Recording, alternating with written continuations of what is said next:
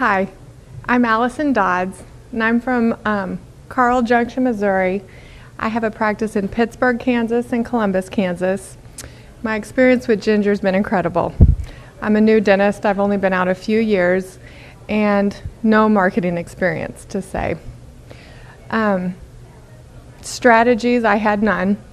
As far as realizing I needed to focus on someone, she's been incredible. We narrowed it down, made a focus group, and I know exactly what I need to do when I get home.